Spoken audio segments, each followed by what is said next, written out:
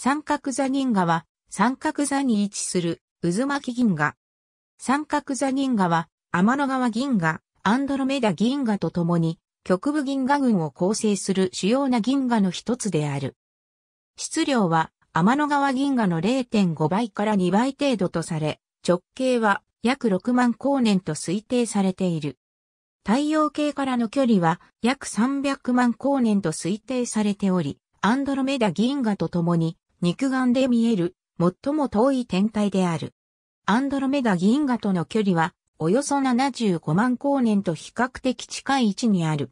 双眼鏡では本当に条件が良い場合に見える。通常の望遠鏡での観測では銀河の形ははっきりとは捉えづらく雲の塊に見える。口径10センチメートル程度の小口径望遠鏡でも意外に見え方は良くならない。しかし、空の条件が良い場所で目を夜空に鳴らしてじっくり見ることによって腕の構造まで見えてくる。口径30センチメートルの望遠鏡でじっくり観察することにより、下記の NGC604 だけでなく、NGC588、NGC592、NGC595 など付随する複雑な構造を見ることができる。写真を撮影すると腕を持った銀河の形を見ることができる。地球から見るとほとんど回転軸のある方向から見ることになる典型的なフェースオン銀河である。NGC604 の拡大写真三角座銀河の非領域には NGC604 という巨大な三光星雲が存在している。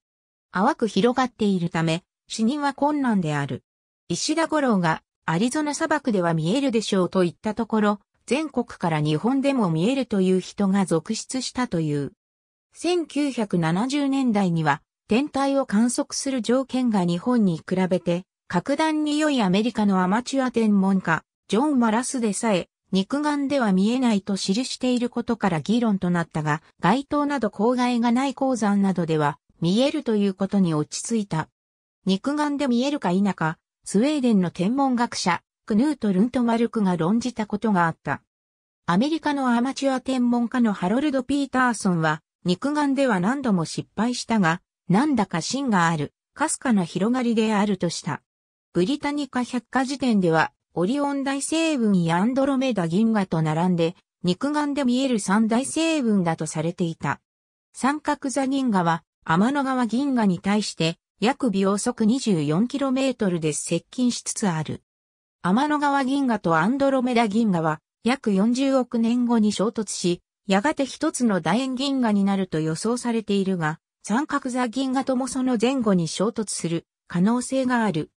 2005年、三角座銀河の2つの星形成領域にある水分子から発せられるメーザーを観測することによって銀河としては初めて視線に直角な方向の固有運動が観測されたと発表された。ジョバンニ・バッティスタ・オディエルナによって1654年以前に発見されていたものと考えられている。それとは独立して1764年8月25日にシャルル・メシエに発見され、メシエカタログの33番に加えられた。メシエはほとんど濃淡のない星雲だが、中心部の2、3がやや明るい。星は、ありがとうございます。